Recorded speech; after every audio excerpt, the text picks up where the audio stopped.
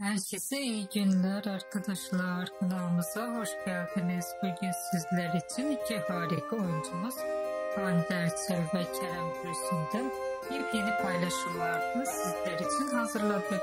Hande Erçel, Sen Çal Kapımı, Aşk Kulaktan Olmamaz, Çılgın Dersane Çavuşu gibi dizilerde rol almış ve herkes tarafından çok beğenilmiştir.